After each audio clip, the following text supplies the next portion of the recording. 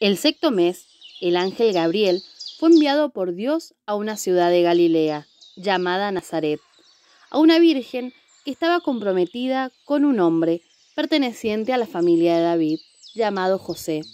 El nombre de la virgen era María.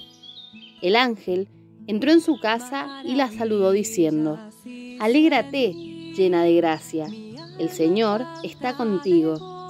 Al oír estas palabras, ella quedó desconcertada y se preguntaba qué podía significar ese saludo.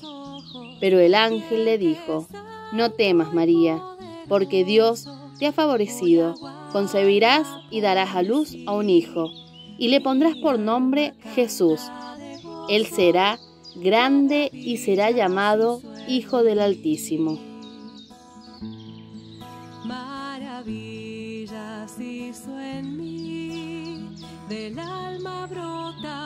Canto, el Señor me ha amado más que a los lirios del campo, por el Espíritu Santo, Él habita hoy en mí, no cese nunca mi canto.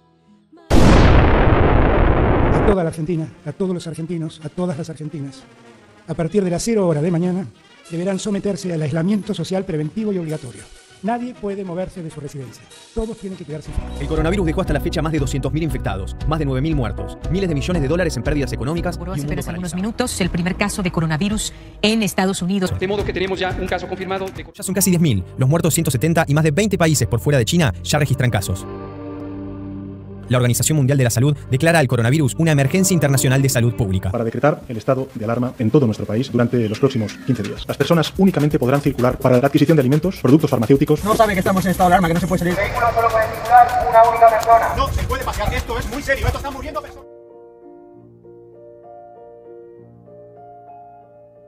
Gabriel, Gabriel. Ve a la tierra y anúnciale a todos mis hijos que no teman. Gabriel se retiró y visitó a todas aquellas personas que a pesar de los miedos y dificultades dijeron sí, un sí generoso, como aquel sí que dijo María. Los enfermeros, médicos y todo trabajador de la salud abandonaron la comodidad de sus hogares para ponerse al servicio de la vida.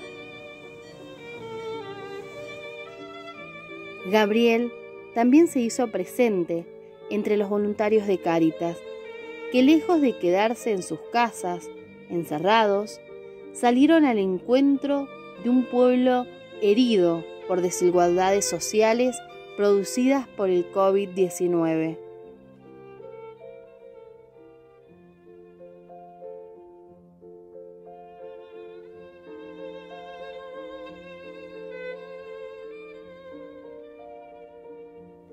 También visitó a quienes tienen la misión de acompañar y cuidar al pueblo de Dios.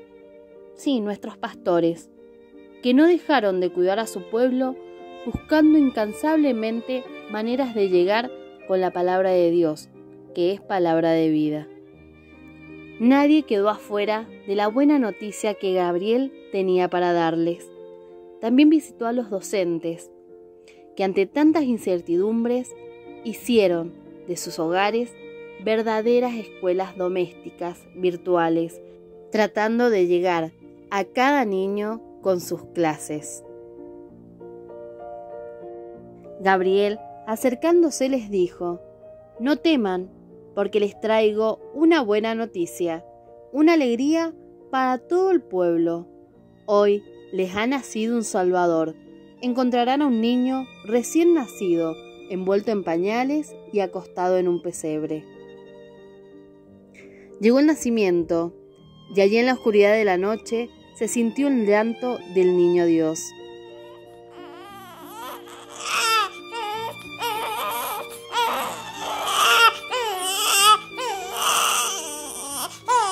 Los primeros en llegar fueron los ángeles. Sí, los que en una sala de hospital cuidaron cada vida, inclusive aquellas que partieron a la casa del Padre. La cuidaron como hizo María con el niño Jesús. Luego también llegaron ellos, nuestros pastores actuales, esa porción del pueblo de Dios que nos motivaban a quedarnos en casa, policías, bomberos, docentes, y aquellos que por solidaridad a quienes estaban al frente de la batalla se quedaron en casa, familias, ancianos, niños. Y como no podían faltar, llegaron los reyes de nuestros tiempos, que nos regalaron el encuentro con la palabra de Dios, confeccionaron barbijos para quienes nos cuidaban y acercaron alimento a quienes más los necesitaban. Todos ellos recibieron con alegría el nacimiento. María contemplaba con amor y alegría al ver que todos sus hijos estaban reunidos y todo esto lo guardaba en su corazón.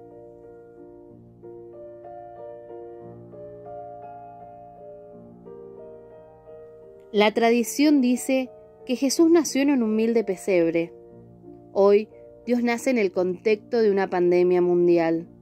Dios viene a habitar entre nosotros, pobre y necesitado, para decirnos que estando al servicio de nuestros hermanos, estamos haciendo de nosotros un pesebre en donde recibirlo.